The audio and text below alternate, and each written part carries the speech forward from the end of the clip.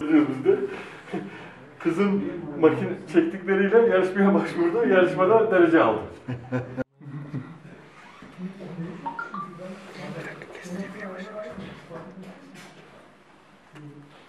Ayın emberi noktasından geçmesi olan e, bir devreden geçiyor ay. E, Tam dolunay aşamasına denk geldiği için süpermoon dediğimiz bir safhada gözlüyoruz ayı.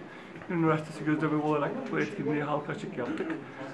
E, hava kapalıydı ama e, bir ara bulutlardan sıyrıldı.